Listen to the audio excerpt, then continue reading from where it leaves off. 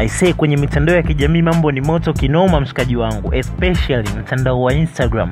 Kimewaka ile mbaya huko ikiwa ni baada ya rapa newa mitego kuposti picha ambayo inamwonyesha samson.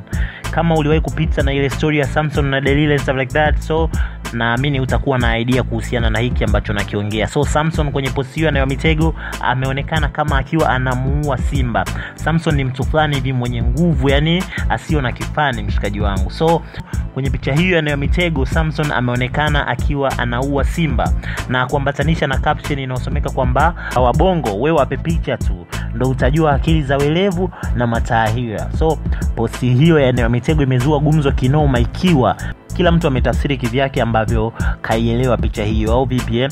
moja kati ya stori ambazo ziko kwenye trendi ya juu kabisa ni kuhusiana na bifu la clouds media group na diamond platinums na wcb kwa ujumla. Au vipi so baadhi ya mashabiki wengi wa diamond Platinumz wamemjia june wa mitego baada ya kuposti picha hiyo baada ya kuitafsiri picha hiyo kwamba kuna mtu mwenye nguvu kama za samsoni anataka kumuua simba. Na of course inajulikana kwamba simba ni diamond Platinumz.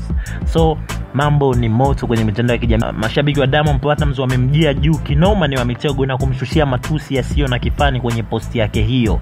So nini maoni yako unahisi hicho ambacho ameposti nayo mitego kitakuwa kinamlenga diamond platinums kwa namna moja ama nyingine?